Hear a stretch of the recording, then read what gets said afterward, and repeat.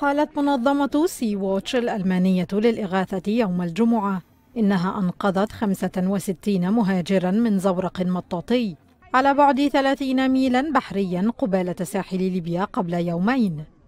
وفي مقطع فيديو نشرته المنظمة يظهر مهاجرون بينهم أطفال صغار يرتدون سترات النجاة على زورق مزدحم أثناء نقلهم إلى سفينة الإنقاذ سي واتش ثلاثة. وقالت المنظمة الخيرية الألمانية في بيان مكتوب إن السفينة التي تحمل العلم الهولندي تبقى عالقة في البحر مرة أخرى دون أن توفر لها السلطات المعنية ميناء آمنا ترسو فيه.